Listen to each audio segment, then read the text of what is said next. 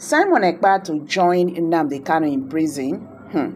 See what Igbo chief demanded after Ekpa's arrest that is generating controversies in the southeast region.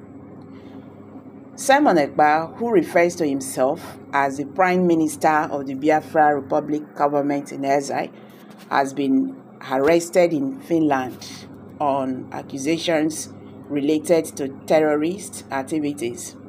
Report from local media indicates that the district court of Pajart Hami has ordered Ekpa's detention based on reasonable grounds for suspicion that he has incited criminal acts with the intent to promote terrorism.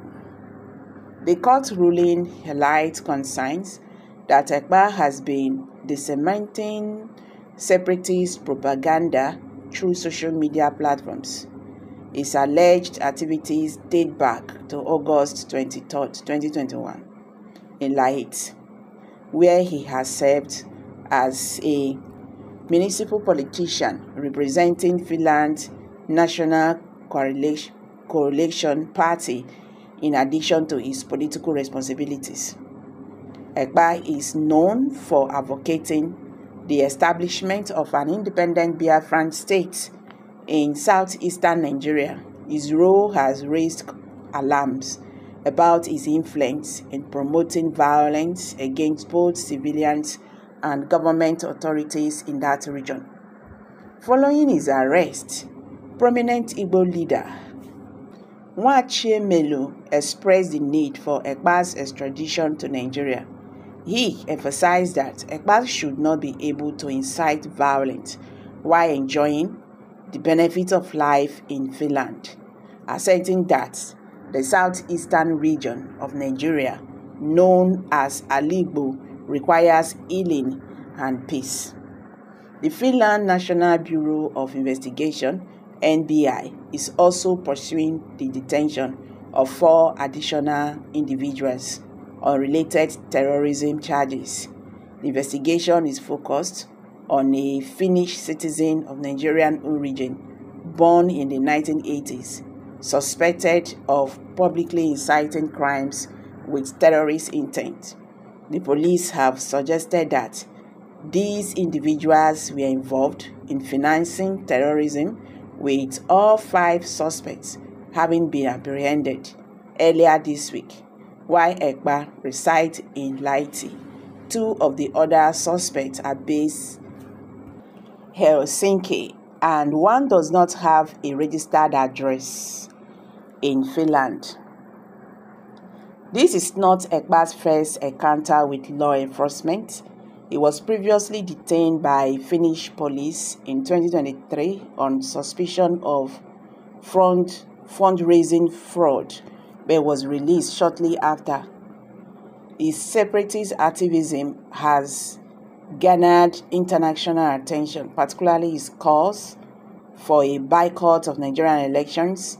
In a recent social media post, he declared that no elections would be permitted in Biafra territory in 2023. Furthermore, Ekpa has openly advocated for violence, justifying it as a mix of self-defense against what he describes as ongoing attacks by Nigerian government forces and the alleged war crimes. He has stated, I support violence against Nigerian government forces. This is self-defense. Regarding Ekpa's affiliation with the National Coalition Party, Party Secretary Timo Elo refrained from commenting on whether Simon Ekpa is a member, citing confidentiality. Okay. However, he noted that if any party member were suspected of terrorist activities, he would likely lead their expulsion from the party. Elo did mention that uh, evaluations of Ekpa's role on the Public Transport Commission would be conducted at the local level. The unfolding situation continues to raise uh, to raise serious questions about the balance between political expression and incitement to violence in a global context. So, guys, this man, this Igbo, uh, a prominent Igbo man said, he said, now that Simon Ekpa has been arrested, he should be extradited to Nigeria immediately. You can't be inciting violence and destruction of our Igbo while enjoying the economic and the social benefits of Finland. Alibu needs healing and peace. So, guys, what's your take on this? Let's hear from you. Kindly drop your comment below the comment section. Please don't forget to give it a thumbs up, share this video, let it go viral. Let Nigerians understand what is happening in the Nigerian political landscape. Thank you and bye for now.